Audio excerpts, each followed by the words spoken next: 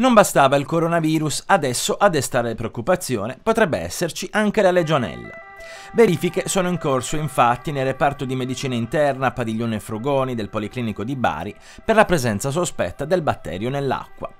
A renderlo noto è la direzione generale del Policlinico, comunicando che al momento non c'è nessun caso ufficiale, ma a scopo precauzionale sei pazienti sono stati trasferiti in altri reparti.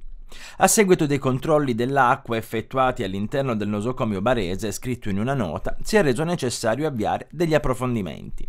Verifiche incrociate di Arpa Puglia e Policlinico infatti riportano valori di legionella differenti e proprio in presenza di tali valori anomali è necessario svolgere ulteriori esami. Per evitare di esporre i pazienti a possibili rischi di legionellosi, malattia che si trasmette per via aerea e che colpisce prevalentemente il sistema respiratorio, con forme anche acute di polmonite, sono stati avviati interventi tecnici sull'impianto idrico. Tali lavori, tuttavia, non possono essere effettuati in presenza di degenti e quindi sei pazienti sono stati trasferiti in altre aree della struttura sanitaria. Va specificato, fanno sapere dal Policlinico, che nel reparto non si sono ancora registrati casi di legionellosi e che gli interventi di manutenzione sono effettuati solo ed esclusivamente a scopo precauzionale.